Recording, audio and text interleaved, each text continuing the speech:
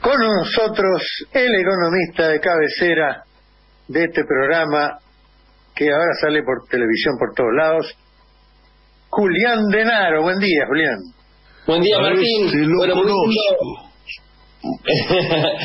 muy, lindo eh, muy linda la, la, este, la presentación con folclore. Eh, bueno, en, en relación a esto, eh, vos sabés que estoy, ojalá que tenga novedades en las próximas semanas por publicar eh, mi séptimo libro, que no es de economía, que es de turismo. Y parte de la economía. Cuando, mm, cuando uno recorre la Argentina, la Argentina profunda, va sintiendo cada vez más nuestra propia música. Y la verdad que es muy interesante cómo, cómo se cultiva ese amor por, por, nuestro, por nuestro país, por nuestras cosas, ¿no? Eh, que además no es solamente que son nuestras y bueno, uno ama lo propio porque es propio y nada más, sino porque tenemos eh, en, en, eh, sobre nuestra tierra los lugares este, más lindos del mundo donde mejor se come en el mundo, la mejor gastronomía y este y bueno y una música y una música maravillosa realmente que se siente que se siente con mucha fuerza cuando uno va recorriendo no eh, en las peñas y todo lo demás, ¿no? Comiendo empanadas, tomándose un vino y escuchando buena música. Bueno, eh, bueno, eso también es economía, porque la, la industria del turismo es una industria transversal, que es una industria que genera industria y que además hace que, los argentinos gastemos plata en nuestra Argentina y que desde el exterior eh, ingresen divisas, lo que posiciona a Argentina en este momento con más o menos 7 millones de, turistas extranjeros. Eh, la ubica en el, en el puesto número uno de Sudamérica, por encima de Brasil, Colombia, eh, Perú, eh, y Chile, y en el puesto número dos de toda Latinoamérica, solo después de, México, pero eh, especialistas en, las proyecciones hablan de que si se hacen bien las cosas, si hacemos bien las cosas, y ojalá que mi libro, mi, próximo nuevo libro eh, colabore, podamos subir prontamente de 7 a 10 millones, lo cual va a repercutir no solo en términos eh, estadísticos, sino también en términos económicos, productivos y también financieros. Bueno, pero eh, bueno, yo siempre tengo, tengo una, una, combinación de cuestiones optimistas, este, a veces exageradas, pero, pero está bien, ¿no? Está bien porque las, las, las utopías este, también generan, generan rumbos hacia dónde ir, ¿no? Eh, lo, que parece imposible en un momento se puede transformar en posible eh, en, otro momento siguiente si, si, si somos muchos construyéndolo. Ahora, leyendo algunos datos, algunos datos eh, actuales, ¿no? Por ejemplo, nosotros tenemos, como ustedes estaban comentando eh, previamente, antes de darme la palabra, el, principal problema que tenemos en la Argentina en este momento es el, distributivo, eh, donde salarios y jubilaciones no alcanzan para sostener una, una vida digna, justa, ¿no? Y unos datos que son alarmantes, ¿no? Por ejemplo, una botella de litro y medio de aceite de girasol, ¿no? que se produce y cosecha acá, se prensa y convierte en aceite acá, y viaja 10.000 kilómetros a Europa y allá está más barato. Los datos son los siguientes. Acá, eh, recuerdo, tenemos un sueldo promedio, estos son datos procesados, eh, los, tomé por, procesamiento de otro, pero eh, coinciden más o menos con lo que yo tengo en, mente, así que los, los voy a utilizar. Si el sueldo promedio de la Argentina está un poco por encima de los 100.000 pesos, cerca de los 115 mil pesos, el sueldo promedio en Europa está en cerca de 400 mil pesos. Sin embargo, una botella de aceite de girasol en, en Buenos Aires ronda los 350 pesos, el litro y medio, y en Madrid 290 pesos. Para un cachito, Julián. Para un cachito, Para un cachito, porque vos dijiste algo que el sueldo promedio nuestro ronda los ciento y pico mil pesos, y eso estrictamente no es así si rondara, ¿no? Claro, claro, claro, sí, sí, sí. Pero además, digamos, hay cuestiones que tienen que ver con medias.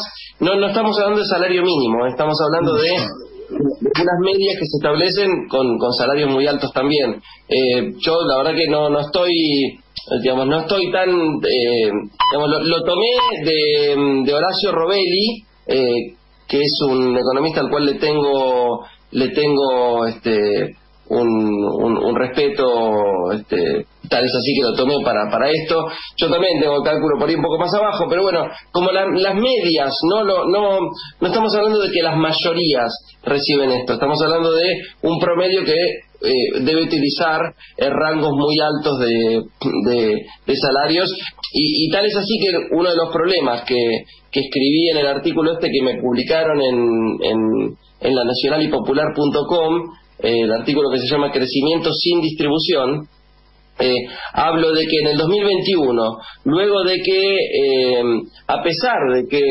se crearon cientos de miles de puestos de trabajo y una, notable cantidad de nuevas empresas, eh, en un crecimiento que superó el 10%, eh, incluso con un superávit comercial que superó los 10 mil millones de dólares. Sin embargo, la participación de los salarios en el PBI en ese año que tenemos una torta más grande para repartir, ¿no? Si hay, si hay, crecimiento hay más para repartir. Sin embargo, la, participación de los salarios en el PBI bajó del 46 al 43%. Esto es algo, digamos, que está en línea con, lo que vos me querías eh, destacar, Martín, que estamos en realidad peor, ¿no? Es decir, este, independientemente de que yo por ahí utilicé eh, tal vez inoportunamente el dato de Horacio Robelli, pero la comparación era que eh, aún con los datos de Robelli, es decir, si el sueldo si el sueldo acá estuviese en 100.000 y en Europa en 400.000, como puede ser que la botella de litro y medio de aceite de girasol en, en Buenos Aires está a 350 pesos y en Madrid 290 pesos, encima luego de viajar 10.000 kilómetros. ¿no? Esto, esto me pareció interesante, por eso lo tomé. Está muy bien, está muy bien el ejemplo con los datos de Horacio eh, bueno, y este, también otro de los datos, digamos, que tiene que ver con esto, con este artículo que, que, me, publicaron, este, que siempre agradezco el espacio que me dan, es que eh, también bajó la tasa de desempleo del 11% al 7% y sin embargo y sin embargo tenemos una, una menor participación de eh, los asalariados en el PBI. Ahora, ¿por qué ocurre esto? ¿Por qué ocurre esto? Ocurre como eh, tal como estuvimos conversando muchas veces, porque si hay más para repartir y la mayoría del pueblo tiene menos, es porque hay unos poquitos que tienen mucho más. Y esto tiene que ver con lo que eh, muchas veces se, destaca, que tiene que ver con el abuso de posición dominante de las corporaciones concentradas, que eh, forman precios y que se quedan con una tajada cada vez mayor. Pero además, estas corporaciones dominantes proceden a otros eh, fraudes al, pueblo, que incluyen no pagar impuestos y fugar su capital eh, financiero al exterior, que queda escondido en guaridas eh, este, fiscales, eh, contrabandear productos tanto de importación, que eso daña la industria argentina, como de exportación, tercerizando, con este, triangulando con empresas propias en el exterior y también extorsionar a los gobiernos para que devalúen, para que suban el precio del dólar. Esto, digamos, eh, también lo pongo en línea con algunos portales que ya están diciendo, por ejemplo, portales de TN, ¿no? De, los, de estos liberales, que están diciendo que el dólar está atrasado y que por eso hay que devaluar. Bueno, primeramente, el dólar no está atrasado. El dólar, ¿Qué significa dólar atrasado para ellos? El dólar atrasado significa que el dólar no está competitivo. Es decir, que el dólar atrasado significa que está barato, digamos. Entonces, como es barato, entonces por eso se está importando más. Bueno, en realidad se está importando más y está aumentando el turismo emisivo por dos motivos. Uno es que está aumentando el turismo emisivo con respecto a los años anteriores porque se salió de las restricciones causadas por la pandemia. Y en, cuanto al aumento de las importaciones, tiene que ver con que se vuelve a poner en marcha la industria. Y la industria requiere insumos eh, importados. Por lo tanto, eso en realidad habla de que están aumentando las importaciones. Lo que quieren ellos es devaluar, o sea, que suba el precio del dólar. ¿Por qué? Porque si sube el precio del dólar, ¿quién se beneficia? Los que manejan dólares, o sea, ellos. ¿Y quién se perjudica? los que no manejamos dólares, es decir, el conjunto del pueblo. Por eso es importante tener en cuenta todas estas cuestiones y eh, en relación a eso, una cosita más Martín, en relación a eso que, tenía que ver con, con la plata que, tienen los argentinos más ricos, es decir, ellos en el exterior, que el Frente de Todos, esto ya lo hemos dicho, pero es importante a veces tenerlo presente en mente, ¿no? Es decir, el Frente de Todos lanza el proyecto para que se, eh, se cobre un impuesto a la plata fugada y escondida en el exterior, que fue plata que no pagó impuestos, y plata no declarada y desde el liberalismo, es decir, desde el macrismo y desde los libertarios, ellos, ¿no? Este, están en contra de, eh, de esto. Dos cosas. Una, la pregunta, ¿por qué ellos están en contra? ¿No era que ellos decían que la plata la tenía escondida los kirchneristas y demás? Bueno, ellos están en contra. Por algo debe ser, capaz que ellos tienen plata afuera, ¿no? Y la otra, y la otra, ¿no? Este, que tiene que ver un poco con la inflación, ¿no? Que son ellos los que quieren desestabilizar a un gobierno que, con sus errores y virtudes, tiene como lema distribuir el ingreso y sin embargo ellos quieren desestabilizarlo a través de eh, generar eh, la inflación. Y la otra, si no lo pagan los, los fondos que están en el exterior, ¿quién paga la deuda?